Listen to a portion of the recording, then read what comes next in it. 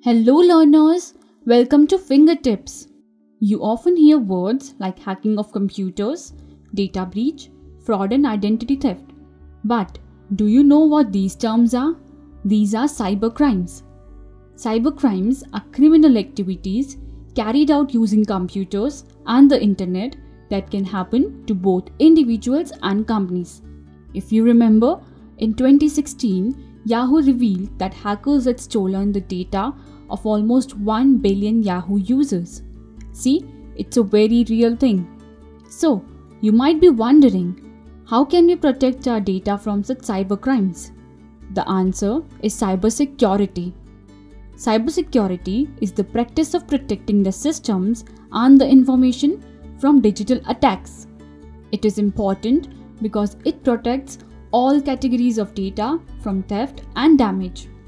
As you know, everything in this world, right from purchasing your favorite products to online tickets and even transferring money, now can happen in one click thanks to digitalization. It undoubtedly makes your work easy, but on the other side, it increases the risk of security of your data. Let's understand it with an example of banking software. The world is getting digital and with that, most of your banking transactions happen online. Individuals like you and me use debit cards and credit cards for transactions, and it is the responsibility of banks to protect these data at all cost. If not done, it can result in loss of consumers, impact on bank reputation, and theft of consumer money. So, how to achieve a high level of cybersecurity? The banking sector achieves the cybersecurity by following certain ways. The first one is multi-factor authentication. Multi-factor authentication includes giving the access to consumers for online banking after 2 to 3 login credentials. This method adds an additional layer of security to confidential data of the consumer. The second way is create awareness among the consumers. Banks are often seen giving instructions like not sharing OTP or passwords on the phone and making them aware of the malpractices. It is difficult to trick an active consumer into such activities and thus banking sector keeps working on making the consumer aware of the same. Next is antivirus and anti-malware applications. These applications are created to protect electronic devices like computers, laptops, phones, and etc. from malware activities. Anti-malware programs scan a computer system to prevent, detect, and remove malware. Further, the next is cyber insurance. Not only your health, but your data also need insurance. Cyber insurance is the insurance policy that helps the business from cyber attacks and hacking threats. Also, such insurance helps to pay to fix damaged systems and rebuild the data. This was just the example of banking sector, but various other industries like e-commerce, healthcare, and government also need cybersecurity.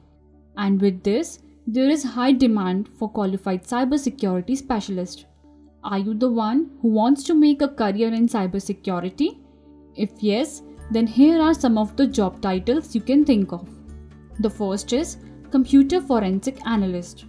A computer forensic analyst who generally works in criminal justice system is responsible to recover the hidden, encrypted and deleted information for the law enforcement agencies.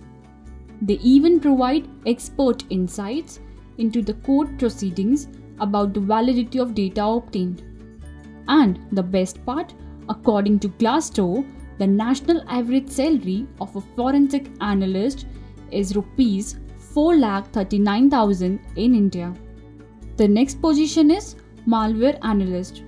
The main work of malware analyst is to identify, examine and detect the working of different malware. They examine earlier threats from viruses, worms, bots and trojans. They develop malware protection tools and finally they develop and recommend the methods to avoid malware threats. Now, PayScale says that the average basic salary of a malware analyst is rupees 6 lakh per year. Amazing, right? Another job title you can go for is cybersecurity engineer.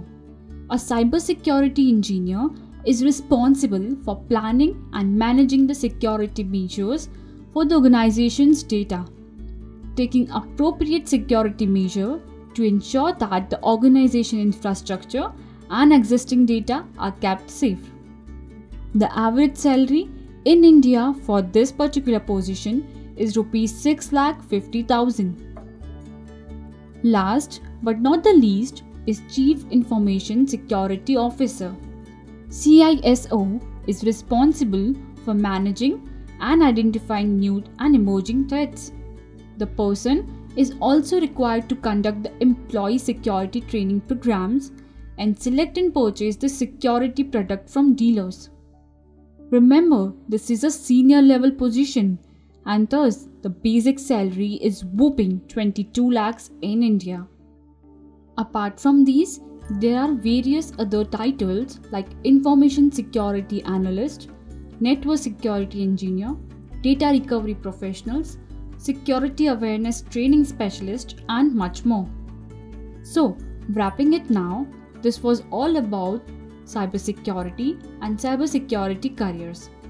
Thank you so much for watching this video. If you like this video, subscribe to our channel now. We will soon be back with more amazing videos. Till then, happy learning.